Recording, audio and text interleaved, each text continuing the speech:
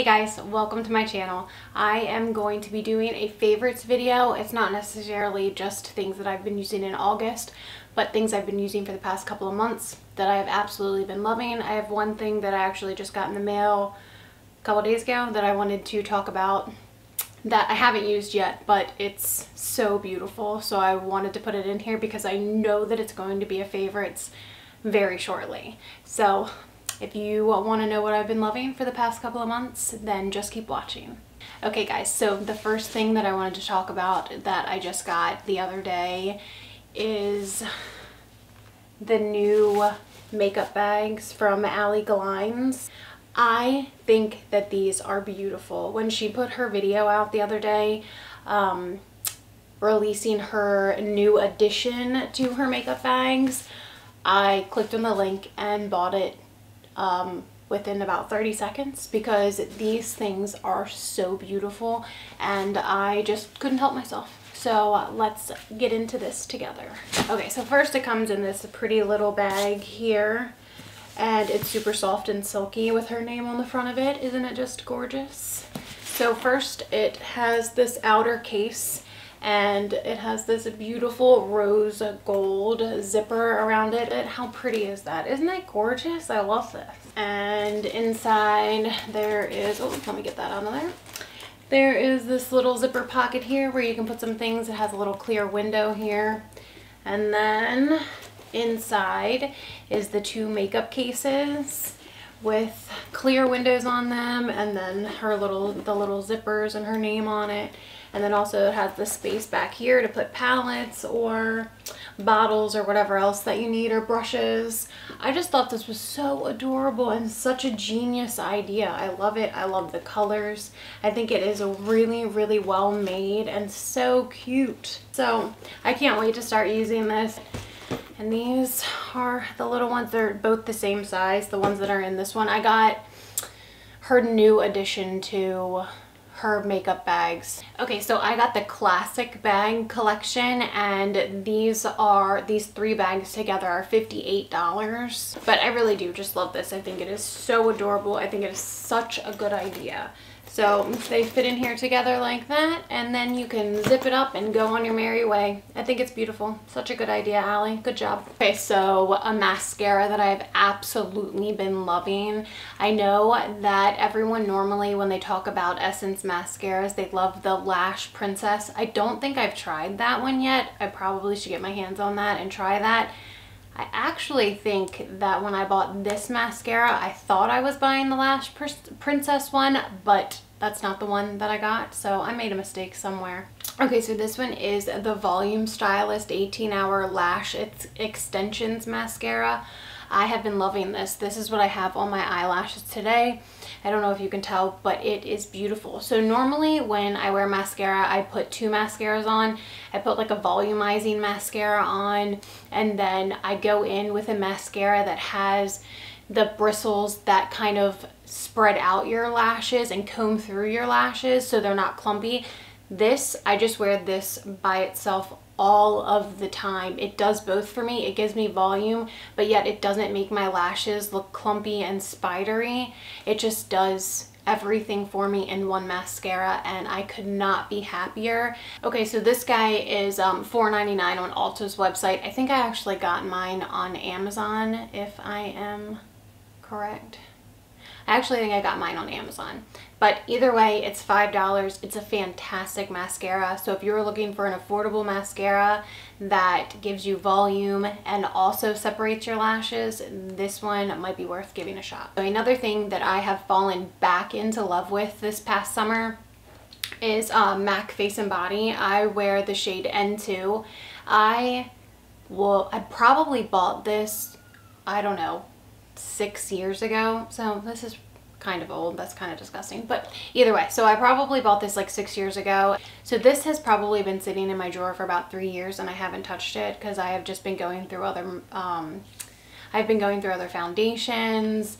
I've been using other things. So I pulled this back out probably about two months ago and this is such a good foundation sheer foundation it's very sheer but It's a really good foundation for the summertime and it feels so good on the skin. If you're looking for full coverage, this wouldn't be your favorite one to try, but if you like sheer coverage, this is so so good. Like I absolutely love this stuff. I use my fingers to apply it and then if I see any spots where it looks kind of funky then I'll just take a wet sponge and just kind of pat over it to make it smooth and blend into my skin. But I am loving this stuff again. I'm so happy I pulled it back out of my drawer and fell back in love with it. Another favorite of mine are these two e.l.f. brushes. I am in love with both of these brushes, both for different reasons.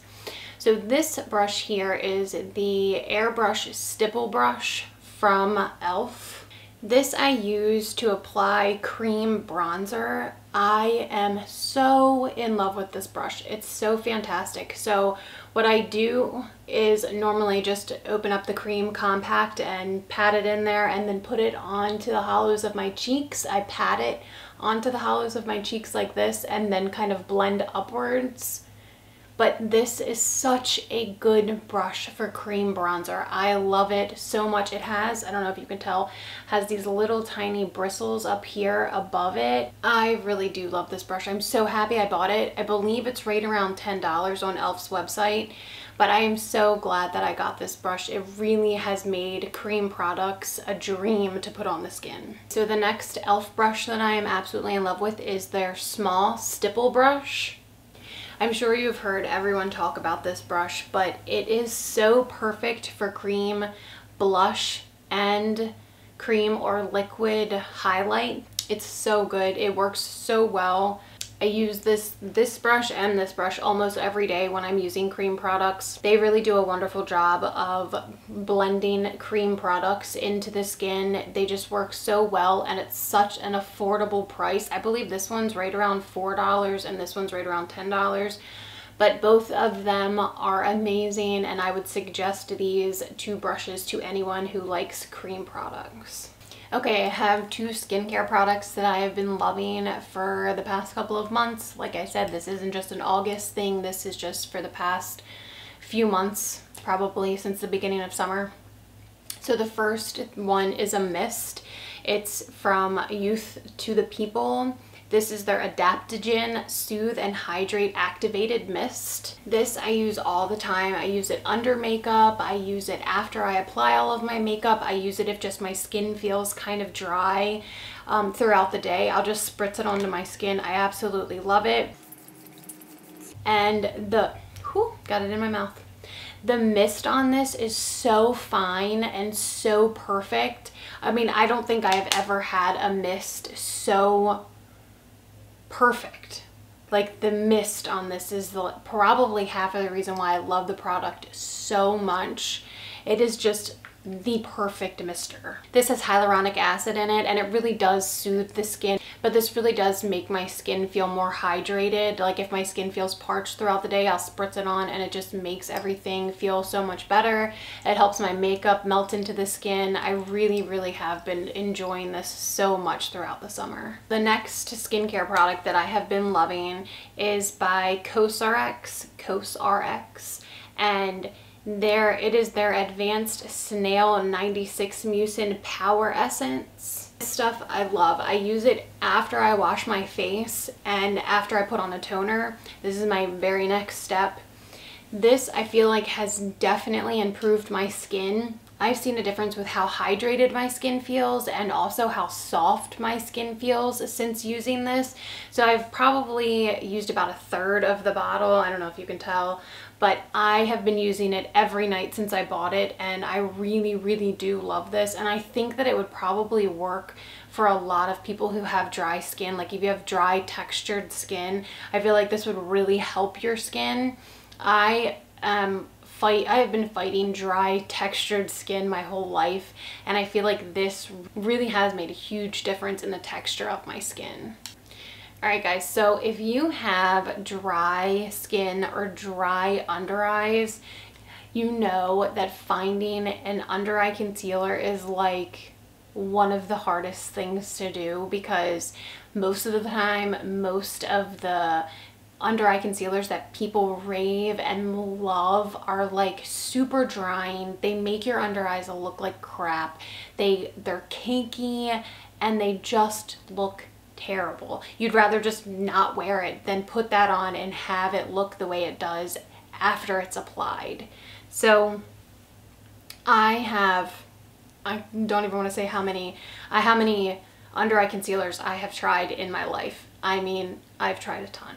So I watched a video and I can't remember who it was by, but she was talking about how she has dry under eyes and she went through three different, I think it was three different ones, three different concealers that she has tried and they were one that was light coverage, one that was medium coverage, and one that was full coverage. So I bought one of the concealers that she was talking about and actually let me rewind. So I went to Sephora to buy this concealer and I walked in and you know how you have a product in mind that you want to get and the people at Sephora start talking to you and they convince you to buy a completely different product. And I did that and I bought what they had suggested for me for my under eyes and it did not work out at all. So now when I go into Sephora, I'm just going to say, no, thank you. I don't need any help. I know what I need. So I think they had me purchase an Estee Lauder under eye concealer. I can't remember what it was called, but it was supposed to be helpful for people who have dry under eyes. Well, it did not work out. I was not happy with it at all. I took it back. I normally don't return things even if I don't like them, but I returned that one and I went and picked up this one instead. So this is the Laura Mercier Flawless Fusion Ultra Long Wear Concealer. So this concealer is absolutely a dream. I'm in the shade 2N and it is amazing. It's so creamy and so good and I don't think that you have to set it if you use a very small amount.